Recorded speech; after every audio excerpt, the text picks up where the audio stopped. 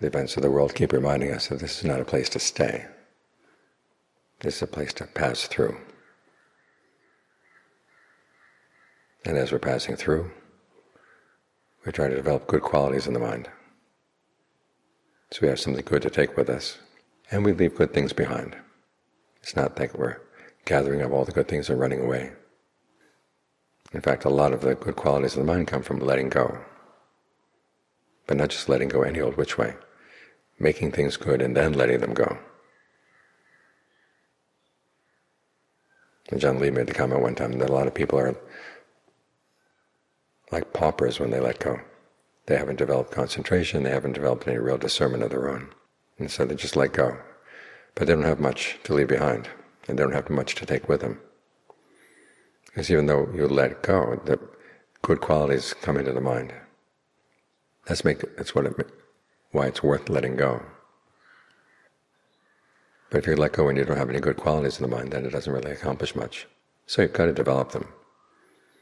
When I first went to stay with Ajaan Fuang, he made the comment one time, I hadn't realized how controversial it was, but he said there are some people who say, all you have to do is let go, let go, but that's not true. You also have to develop, develop good qualities in the mind, and you have to work on them. But you have to develop them first, then you can let them go. It's like borrowing some money from someone. You use the money, you return it with interest, and you have something good left over. That's a good, that's a good loan.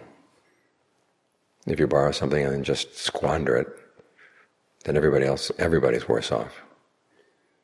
So you try to take this body you've got here and make the most of it. Learn how to use the breath to develop concentration. Use the motions of the mind to develop discernment.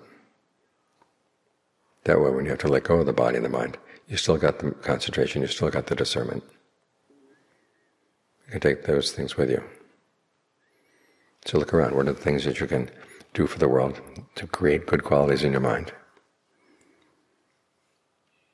And then make sure you take some time every day, every day to look after yourself. Because nobody else can come into your mind and straighten things out for you. You have to do the straightening out yourself. And if you don't do it now, when are you going to do it? It doesn't get easier as you get older. As the world start, starts moving in, moving in, you would have something that can't be hurt by the world, can't be trampled by the world. You have to look for that inside.